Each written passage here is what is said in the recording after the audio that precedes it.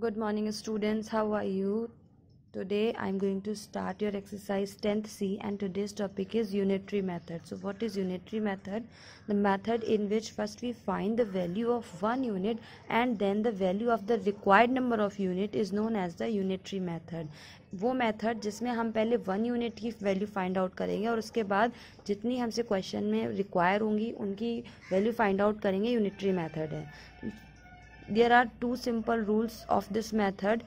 First is to get more we multiply and second is to get less we divide जब भी हमें more items की more units uh, की value find out करनी होगी we multiply हम multiply करेंगे। और जब भी हमें लेस आइटम्स की या लेस यूनिट्स uh, की वैल्यू फाइंड आउट करनी होगी हम डिवाइड करेंगे।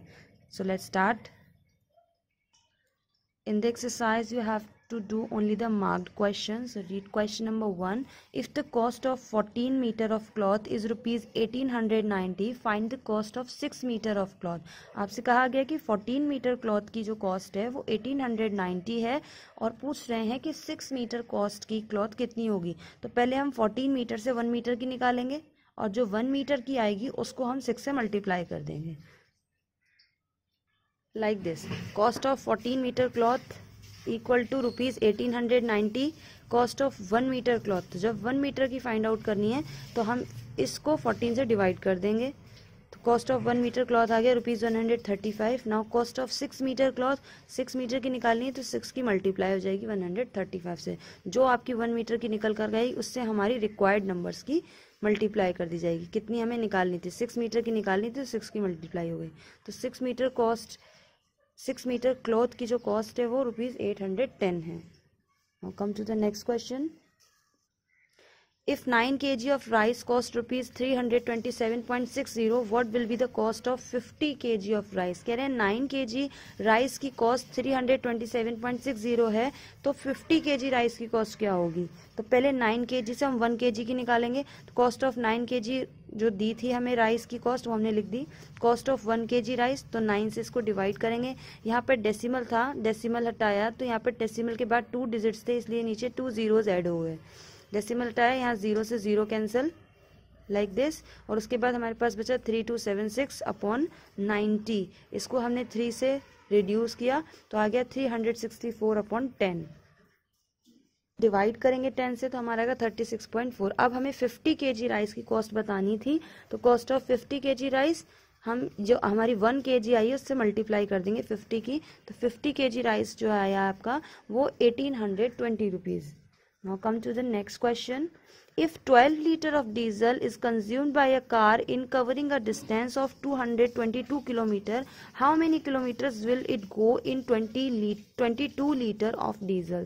कह रहे हैं अगर 12 लीटर डीजल एक कार कंज्यूम करती है और 222 किलोमीटर डिस्टेंस कवर करती है तो 22 लीटर डीजल में कार कितनी डिस्टेंस कवर करेगी? तो पहले हम वन लीटर में निकालते हैं कि वन लीटर में कार कितनी डिस्टेंस कवर कर रही है। Distance covered in twelve litre diesel twelve litre में कितनी डिस्टेंस उसने कवर की? Two kilometre.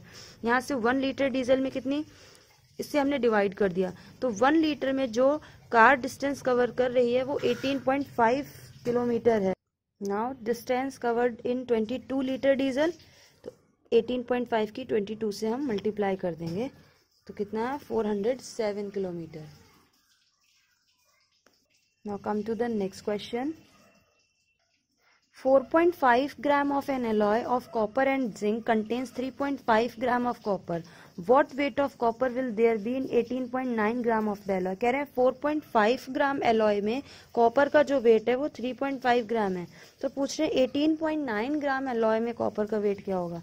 तो पहले हमने 4.5 ग्राम एलॉय में वेट निकाला कॉपर का 3. पॉइंट यहाँ से 1 ग्राम में निकाल लेंगे। तो 1 gram alloy contains copper divide कर दिया। डेसिमल से डेसिमल कैंसिल इसके बाद 18.9 ग्राम में आपसे पूछा जा रहा है कि 18.9 ग्राम में क्या होगा? तो 18.9 ग्राम एलॉय में कितनी ऑपर होगी? तो जो हमारा सेवन अपॉन नाइन आया इसकी 18.9 से मल्टीप्लाई कर दी। कितनी ग्राम कॉपर होगी? 14.7 ग्राम कॉपर होगी। Come to the next question Cost of 4 dozen bananas is rupees 104. How many bananas can be purchased for rupees 6.50? कह रहे 4 डजन बनानास की कॉस्ट 104 है 4 है तो सिक्स रुपीज़ फिफ्टी पैसे में कितने बनाना परचेज किए जा सकते हैं? तो one dozen equal to twelve article one dozen में ट्वेल्व बनानाज आते हैं और हमारे पास फोर डजन बनानाज है। One dozen equal to twelve articles then four dozen equal to twelve into four यानी फोर्टी एट बनानाज की कॉस्ट कितनी है? वन हंड्रेड फोर रुपीज़ क्योंकि इन्होंने हमसे यहाँ रिवर्स में पूछा कि वन हंड्रेड फोर रुपीज़ में four four dozen bananas purchase किया जा सकते हैं तो सिक्स पॉइंट फाइव ज़ीरो में।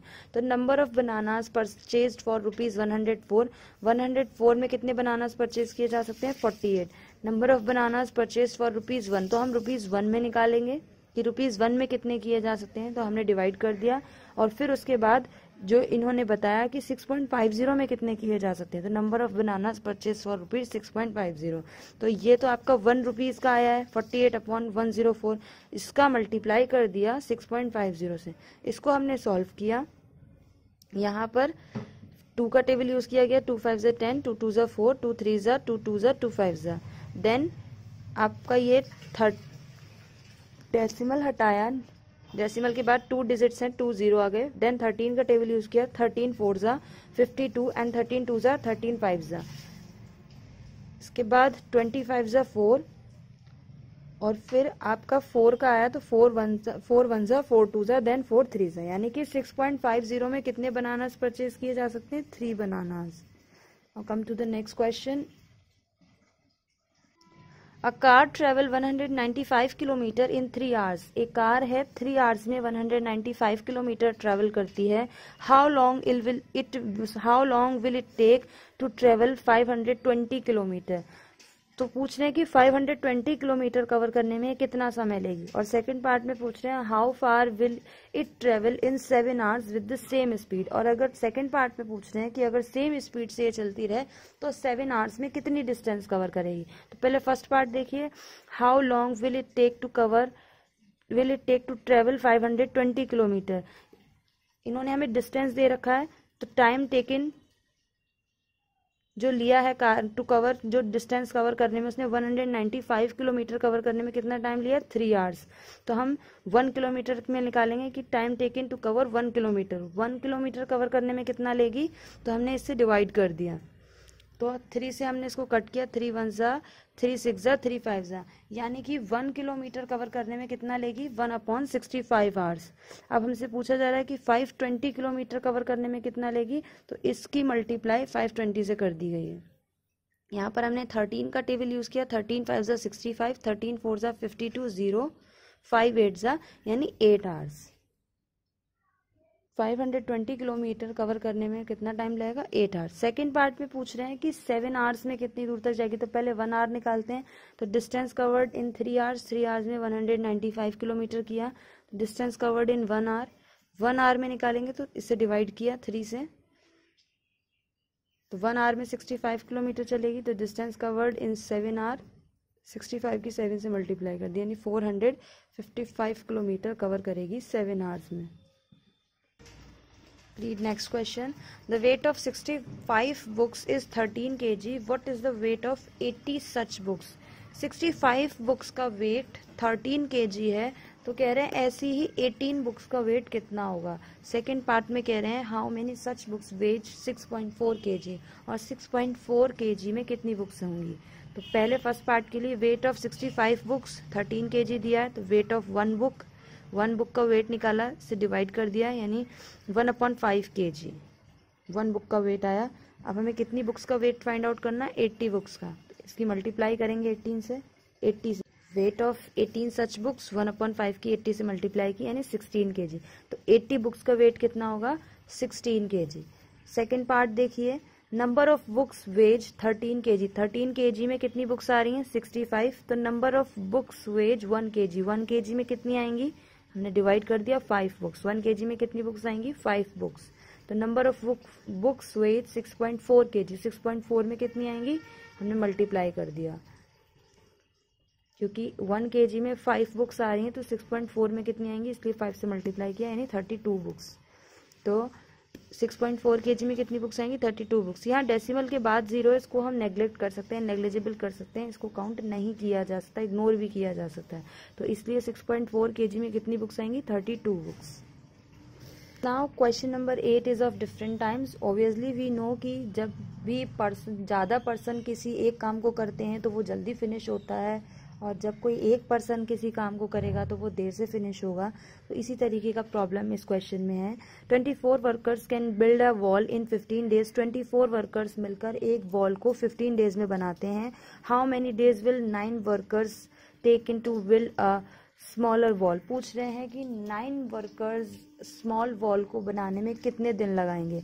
तो 21 workers build a wall 15 days लेते हैं। तो वन वर्कर ज़ाहिर सी बात है, जब 21 लोग काम कर रहे हैं तो 15 डेज़ में काम हो रहा है, यानी कम दिन लग रहे हैं। जब वन वर्कर एक अकेला वर्कर बॉल को बनाएगा तो ज़्यादा डेज़ लगेंगे। तो इन दोनों की मल्टीप्लाई की तो वन वर्कर जब हम निकालेंगे तो 24 फोर इंटू फिफ्टीन यानी इतने डेज़ उसे लग जाएँगे। तो जब नाइन वर्कर निकालेंगे तो उसको नाइन से हमने डिवाइड कर दिया, जो वन था, उसको हमने नाइन से डिवाइड कर दिया।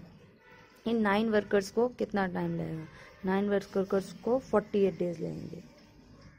Same question number nine forty man can finish the piece of work in twenty six days forty man किसी वर्क एक वर्क का जो पीस है, उसको ट्वेंटी सिक्स डेज़ में फिनिश कर देते हैं। तो कह रहे हैं how many man will be needed to finish it in sixteen days अब सिक्सटीन डेज़ में वर्क खत्म करना है तो कितने पर्सन की ज़रूरत पड़ेगी?